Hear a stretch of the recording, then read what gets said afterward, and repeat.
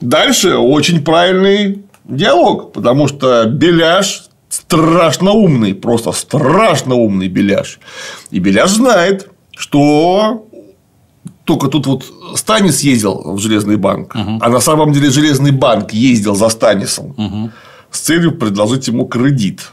Потому что все точно перспективный. Все точно знают, что вот он-то со своей щепетильностью расшибется, а долги королевства все вернет. Поэтому за ним поехал специально железный банкир.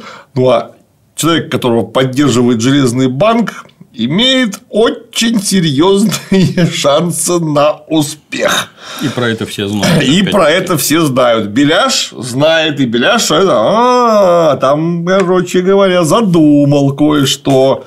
Начал разворачивать стратегию, как Беляш умеет, один из немногих сидите в сборище дебилов на лобах. Вот там Варис, Карла, Беляш. Вот это самые опасные упыри. И что получится в кино в итоге? Вот нам говорят, у Станиса войска больше. Больше. И, конечно, за Станисом пойдут северяне, которые Болтоева просто ненавидят, аж кушать не могут. А, и что нам покажут в итоге, вот как вы умудрились, вот так вот развернув интригу, ну, в самом деле умно и хорошо. Чем это все закончится? Ну, вы же помните. Выйдет Рамзай с какими-то лошадниками, просто вытопчет всех да. этих самых да. э, парней из Таниса, хотя только что говорили, что их больше. Да. А потом раз и Брыдни еще и самого Станиса грохнет. Это мы забежали вперед. Ну, это да. просто, я говорю, как вы можете вот так вот, завернув э, интригу, не то, что ее не разрешить, а навалить кучу в конце. Просто вот да, такую дымящуюся кучу. Да, да, да, да, да. Безобразие. Безобразие. За как вы умудряетесь со своим сценарием так поступать, я даже не знаю. Загадка. Тем более, что уж этот-то у вас есть литературная первооснова.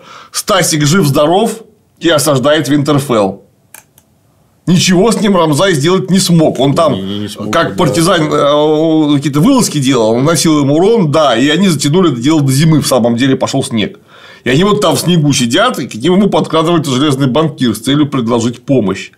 Тут же у него в плену находится у Стасика сеструха э, Бибы. Угу. Бибы, да, Бибы, Я. да. Да, да, да, он ее там в плен взял. Ну, причем а, а она даже не то, чтобы там в плену, она уже как бы хочет со Стасиком быть вместе, чтобы этих болтоевых гадов наказать. Угу. Она говорит, не надо меня в плену держать. Мы тут заодно вообще-то. Я вообще жить не буду, пока этим гадам глотки всем не перегрызу. И Стасик такой думает, что уже как бы надо ее тоже как-то к делу приставить, толковая девочка. Угу. И вот тут раз и окончается книжка нам пока Мартын еще ничего не дописал. Вот, то есть он жив здоров, идет осада, все в порядке. Самса к тому времени уже, правда, сдриснула из этого, из да, Винтерфелла. Да, да, да. Но тем не менее, вот. А зачем вы, зная точно, что в литературной подоснове Стасик жив здоров, зачем его грохнули? Непонятно. Просто вот это вот. Непонятно. Не, оно. Ну, грохнули, да, там, конечно, ужасно все это подвели, тут мы еще до этого дойдем. Да. Ужасно подвели, но зачем? неясно. То есть какая-то просто вот загадка для меня.